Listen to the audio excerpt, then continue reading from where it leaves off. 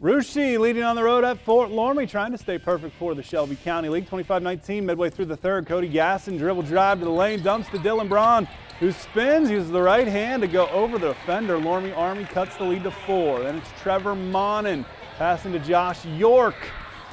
No foul call. The runner is good for the Raiders. Monnin then Monnin passing to Jonah Counts. Cutting to the baseline, thinks about three, then fires. 30 to 21, Raiders lead. How about Drew Wehrman? Kick out to Gaston on the wing. His three is good. Redskins call a timeout. Russia up 32-26, and they hang on for the 35-32 victory. 11 for Jordan Gary. Well, Andy,